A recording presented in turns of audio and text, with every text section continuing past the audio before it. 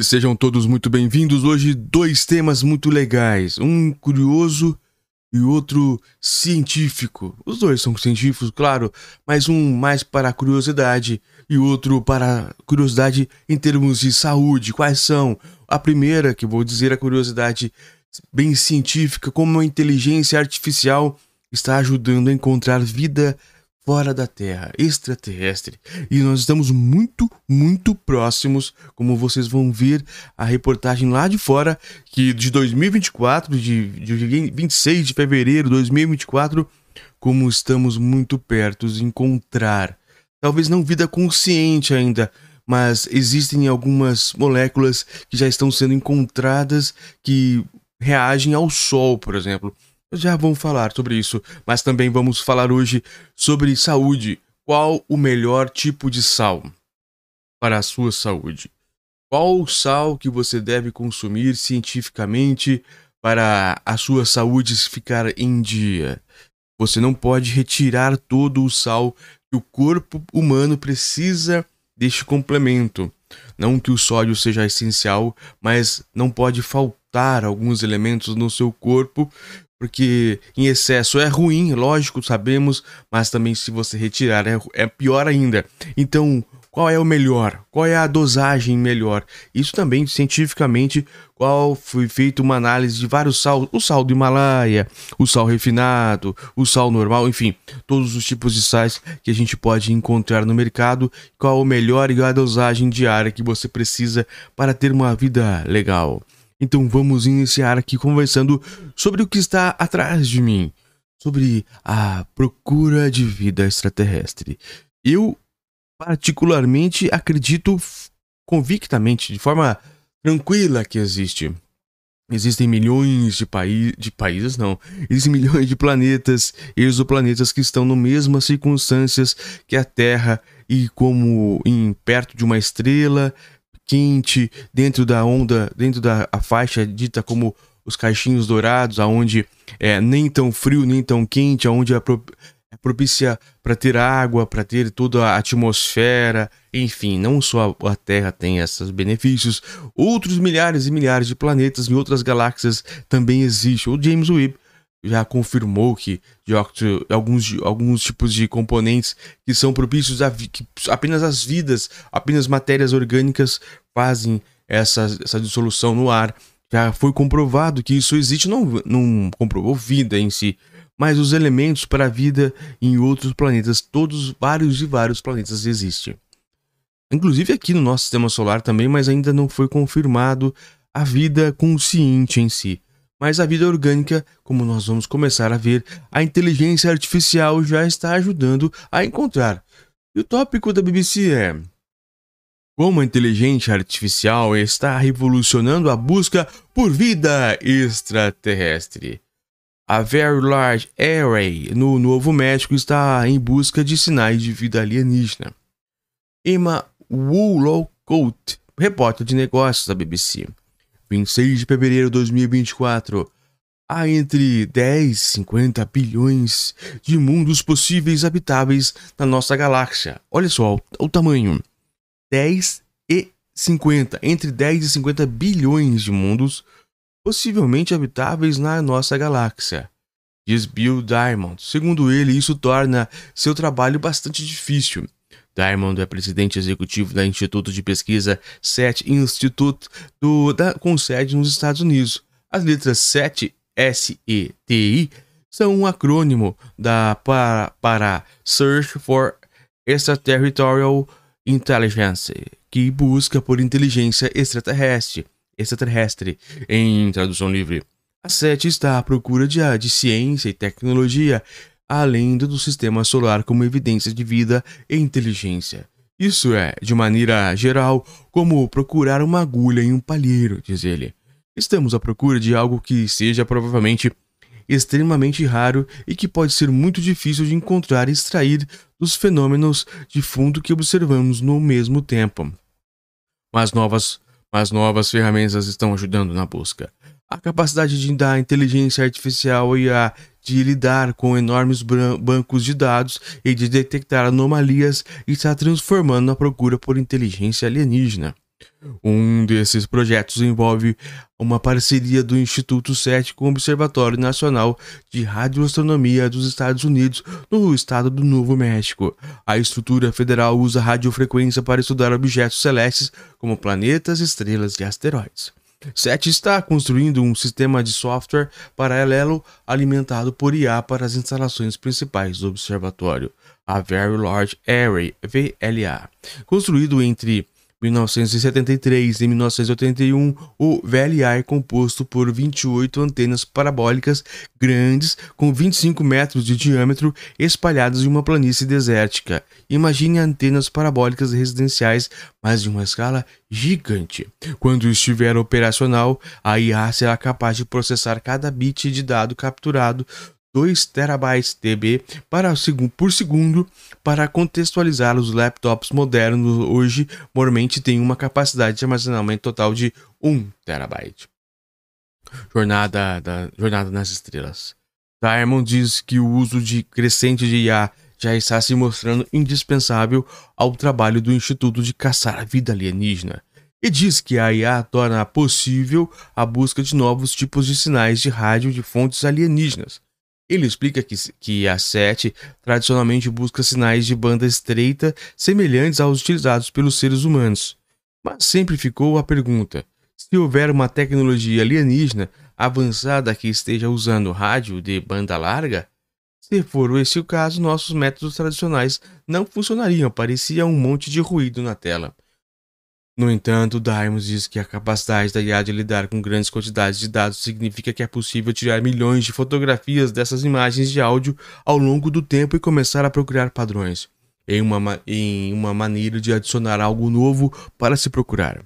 Outro projeto qual, com o qual o SET colabora é o Breakthrough Listen, ou apoiado por mais de 125 milhões de dólares em financiamento do setor privado. O projeto realiza uma varredura em milhões de estrelas e 100 galáxias através de um vasto gama de bandas de rádio e ópticas, em busca de evidências de vida tecnológica.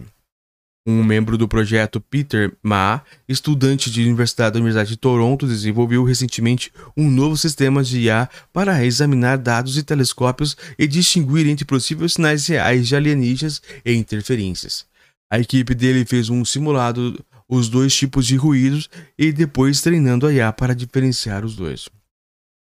Ma diz que um sinal alienígena, por exemplo, só aparecia quando apontarmos nossos telescópios para ele e desapareceria esse ao apontarmos para longe.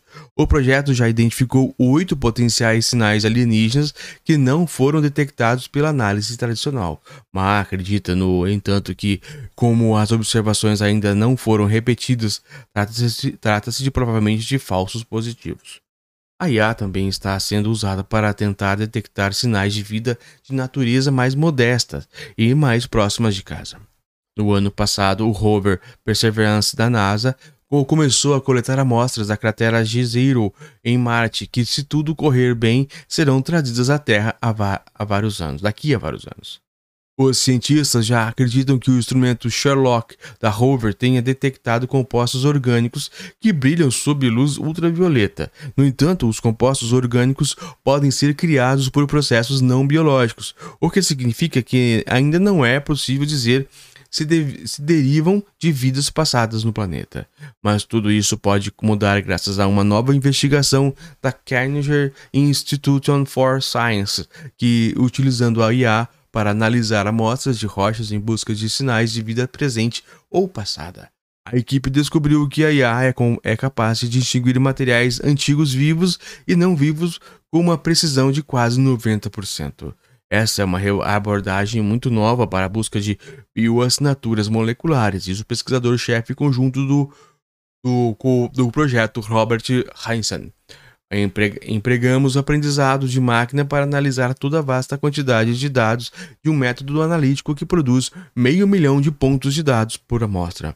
Então, estamos buscando padrões sutis de distribuições moleculares. Os primeiros planos ah, são usar o sistema para analisar amostras antigas da Terra, bem como algumas amostras de Marte em forma de meteoritos, é, mas dizem Hazen poderíamos, por exemplo, pilotar um instrumento através de plumas de encelado uma das luas de Saturno ou pousar em Marte um instrumento cuidadosamente desenhado. Ainda é cedo e quaisquer resultados promissores gerados por IA precisam ser validados por outras observações ou por modelos baseados na física, antes, de, antes que possam ser divulgados aos quatro ventos. Mas à medida que mais e mais dados são coletados e analisados, as chances de detectar vida alienígena, alienígena se ela existir, só aumentam. Enquanto isso, Diamond, o processo é medido pela escala do esforço e não pelos resultados ainda. Olha que interessante, não é? Então, nós estamos muito perto de encontrarmos realmente vida fora da Terra e com o uso da inteligência artificial que está fazendo correlações de dados de, de radiofrequência, provavelmente, do, do, de fora da Terra, porque são muitos sons que o universo não é quieto, calado. O universo faz vários sons dentro de uma radiofrequência. Eles estão entendendo se isso é som de luz, som do que quer que seja, ou até de comunicação de outros seres, porque como o James Webb lança seus lasers bem muito longe, isso também pode ser captado por outros outras pessoas, outras pessoas, outros seres que vivem no planeta, como se nós estivéssemos fazendo uma uma conversa entre esses grandes telescópios. É muito interessante, é bem interessante. Nós estamos muito perto de encontrar. E já falando agora sobre a vida, sal rosa do Himalaia, o light, refinado. Qual o melhor tipo de sal para a saúde? O exagero no consumo de sal é um dos principais fatores por trás da hipertensão. Vamos ficar de olho. A reportagem do grande André Brianot, da BBC News Brasil em Londres, a duas horas do dia 27 de fevereiro de 2024. Nos últimos anos, as prateleiras dos supermercados reservados, reservadas aos temperos, e particularmente ao sal, ganharam uma diversidade inédita. Além da versão refinada, o popular sal de cozinha e do sal grosso, foram lançados novos produtos como o sal rosa do Himalaia, o sal light e o sal hipossódico. E é incomum, todas, é, todas prometem trazer benefícios à saúde e serem aliados na prevenção ou combate à hipertensão, uma doença extremamente comum que está relacionada a infarto, acidente vascular, AVC e até a morte. Mas será que essas alternativas realmente entregam aquilo que prometem? Especialistas ouvidos pela BBC News Brasil apontam que, mais importante que escolher um único tipo de sal, a chave está em saber usar o tempero com moderação e ficar atento aos produtos industrializados que carregam muito desses ingredientes. Em linhas gerais, o sal light ou hipossódico tem evidências de benefícios à saúde, desde que usados de forma correta. Entenda ao longo dessa conversa agora aqui. O mesmo não pode ser dito sobre o sal rosa do Himalaia ou sal grosso. Estudos indicam que a quantidade de sódio neles é similar ao encontrado no sal de cozinha e não há mudanças na pressão arterial quando a pessoa troca o tipo convencional por esses outros. Chegou a hora de conhecer as diferenças entre alguns desses sais e como usar o tempero sem prejudicar o coração e os vasos sanguíneos. O primeiro de todos é o sal de cozinha. O médico Weimar Barroso, presidente da Sociedade Brasileira de Cardiologia SBC, é, SBC, brinca que se o sódio fosse descoberto apenas agora, provavelmente ele não seria aprovado para o consumo humano.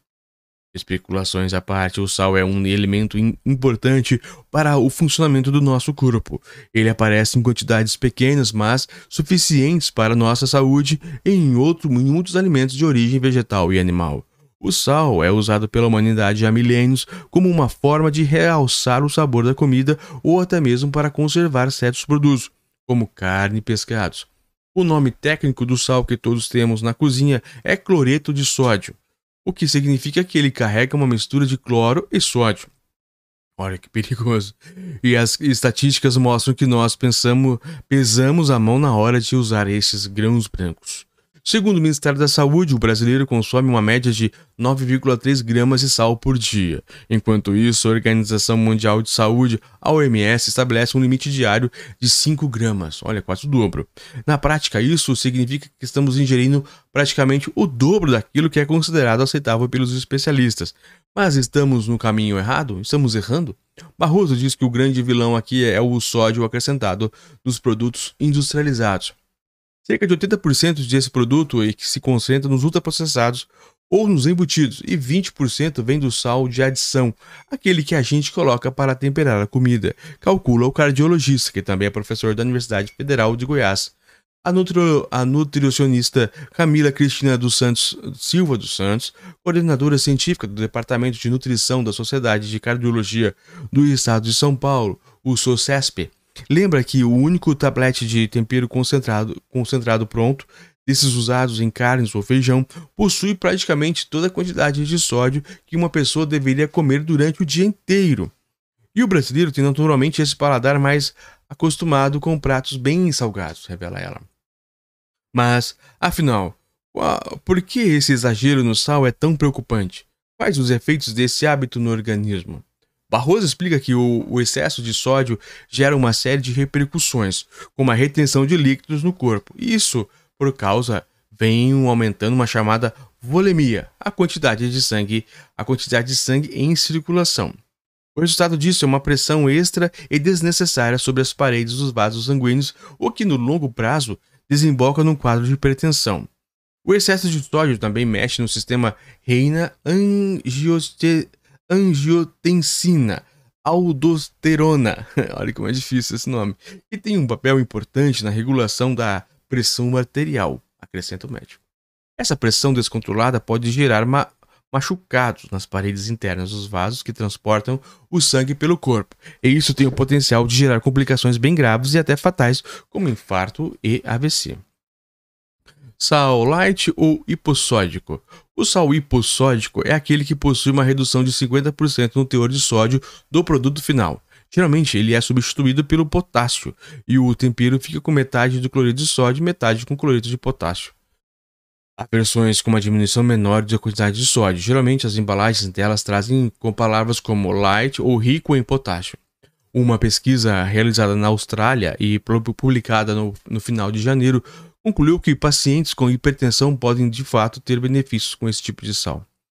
No artigo, os autores defendem a ideia de que esse ingrediente faça parte das orientações de tratamento da pressão alta e médicos passem a sugerir o uso de sal hipossódico ou rico em potássio para seus pacientes. Embora concordem com a avaliação dos colegas australianos, os especialistas ouvidos pela BBC News Brasil apontam uma barreira e duas preocupações na hora de indicar o consumo deste produto.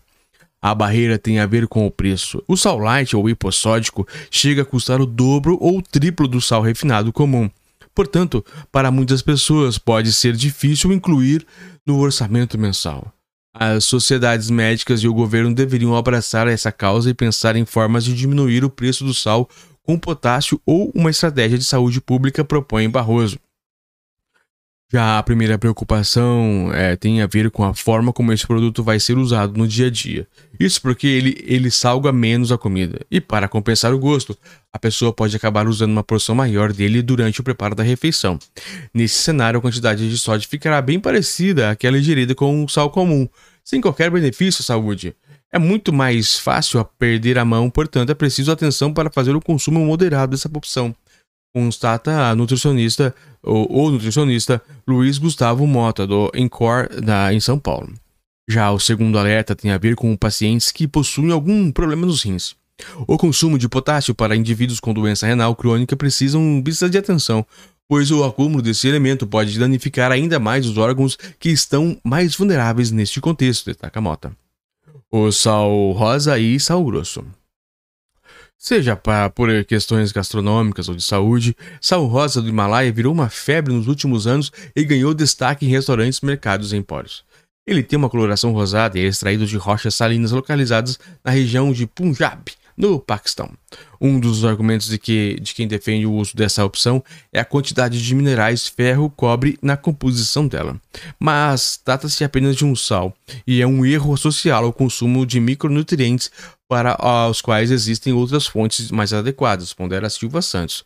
Além disso, a quantidade de sódio no sal rosa do Himalaia é praticamente a mesma encontrada no sal refinado. Nós temos estudos bem robustos, alguns deles realizados no Brasil, que compararam a pressão arterial ao nível de sódio na urina de indivíduos que consumiam sal rosa e sal comum, detalha Mota. E não foi observado nenhum benefício, como pressão mais baixa ou menos sódio, entre aqueles que usaram sal rosa, informa o especialista. O mesmo recado vale para o sal grosso. Antes de um, antes uma figurinha carimbada em churrascos. Esse tempero ganhou destaque nos últimos tempos por supostamente ter menos sódio que o sal de cozinha. Mas a quantidade de sódio em ambos é muito semelhante. Desmente e Barroso. Sal. A palavra-chave é moderação. Tópico final. Seja para prevenir ou para controlar a hipertensão, o segredo está na quantidade de sal que é colocada no preparo da comida. Para variar e explorar novos paladares, Mota indica uma receita simples disponível no site da HCore, que usa sal grosso e ervas finas secas. Basta batê-los no liquidificador ou no processador para obter um tempero com gostinhos diferentes. Ideias como essa podem realçar o sabor da comida e ao mesmo tempo reproduzir o teor de sódio das refeições, destaca ele. Silva Santos segue na mesma linha e sugere que as pessoas busquem outros temperos na, na hora de preparar as receitas, como as pimentas, manjericão, o alecrim ou louro. Existem tantos temperos naturais frescos e secos que vão além do sal. Eu costumo brincar que é possível enjoar com tantas opções que temos à disposição, relata ela.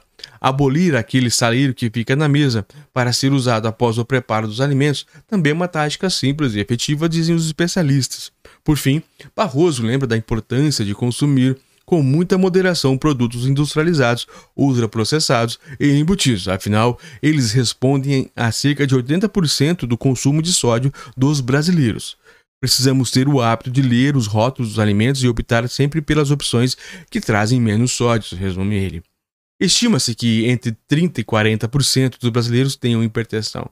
Metade deles nem sabe que possuem a condição e apenas 25% dos que realizaram tratamento contra essa doença estão com a pressão controlada dentro da, das metas preconizadas.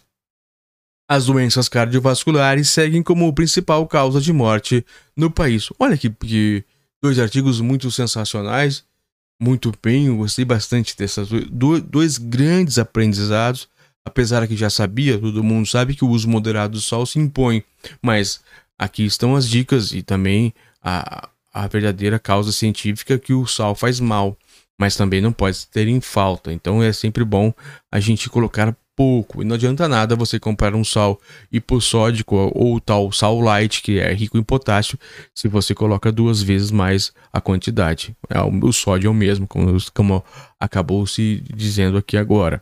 E a questão da IA e a inteligência artificial procurando vida extraterrestre também foi uma curiosidade muito boa. Peço a vocês que curtam, compartilhem, dê, as estrelinhas se tiver no Spotify ou na Apple Podcast.